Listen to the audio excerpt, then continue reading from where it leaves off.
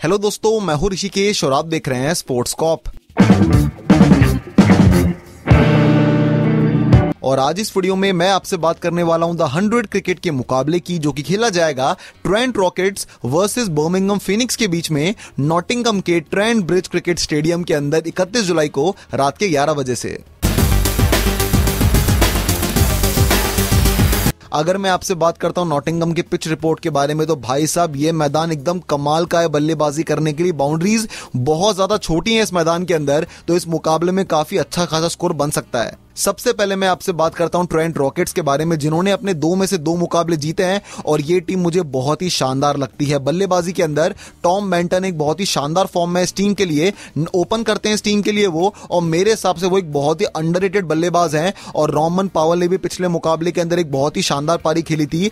पावल जैसे प्लेयर का होना इस फॉर्मेट के अंदर किसी भी टीम के लिए बहुत ही शानदार बात है। उसके अलावा एलेक्स हेल्स भी इस टीम के अंदर है नंबर तीन पे बैटिंग करते हैं, और जिस दिन हेल्स फॉर्म में आएँगे ना, बाकी टीमों के लिए आसान होने नहीं वाला। उसके अलावा सैम हैन भी इस टीम के अंदर है एडम लाइथ भी इस टीम के अंदर है। तो ट्रेंट रॉकेट्स की जो बल्लेबाजी है, वो अलग लेवल पे जा चुकी है। उसके अलावा राशिद खान है भाई साहब इस टीम के अंदर। ऑलराउंडर मानता हूँ मैं उनको पिछले मुकाबले में दो विकेट्स भी निकाले, दो लंबे लंबे छक्के भी मारे, एक बहुत ही इंपॉर्टेंट प्लेयर है इस टीम के। और सेम बात लागू होती है इमाद वसीम के लिए। इमाद वसीम को भी दो विकेट मिले पिछले मुकाबले के अंदर, साथ ही में वो भी बल्लेबाजी से कंट्रीब्यूट करते हैं। तो इमाद वसीम और राशिद खान ये दोनों प्लेयर्स बहुत बड़े होंगे ट्रेंट रॉकेट्स के लिए। तेज गेंदबाजी के बारे में अगर मैं बात करता हूँ तो ल्यूक वुड है इस टीम के अंदर लेफ़्ट आर्म पेसर। दुनिया भर में टी ट्वेंटी लीग्स खेलते हैं, इस मुकाबले के अंदर अच्छा करना चाहेंगे। और जॉर्डन थॉमसन ने भी पिछले मुकाबले के अंदर बहुत ही कमाल की गेंदबाजी करी थी।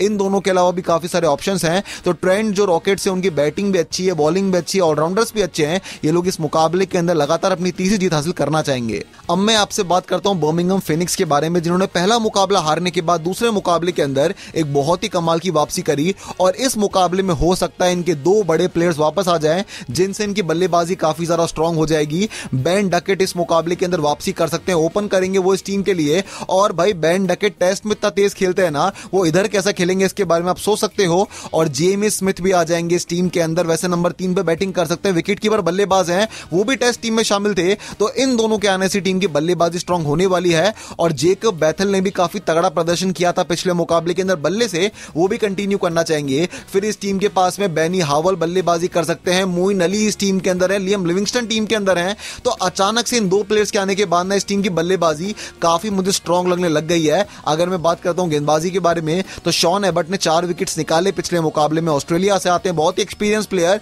ज़रूर से इस मुकाबले के अंदर भी वो विकेट्स निकालना चाहेंगे। और टिम सऊदी का स्पेल भी काफ़ी शानदार था पिछले मुकाबले के अंदर। सऊदी को हम लोग हल्के में ले नहीं सकते। उसके अलावा इस टीम के अंदर ऑब्वियसली बात है एडम मिल का ऑप्शन है। मोइन अली गेंदबाजी कर सकते हैं, लिविंगस्टन गेंदबाजी कर सकते हैं, हावल भी गेंदबाजी कर सकते हैं तो ये टीम मुझे काफ़ी शानदार लग रही है प्रॉपर बैलेंस है इस टीम के अंदर भी। आप मुझे कमेंट करके बताओ कि इस मुकाबले में कौन सी टीम को जीत मिलेगी, और इस मुकाबले की फेंटेसी टीम आने वाली एक भी स्क्रीन के ऊपर।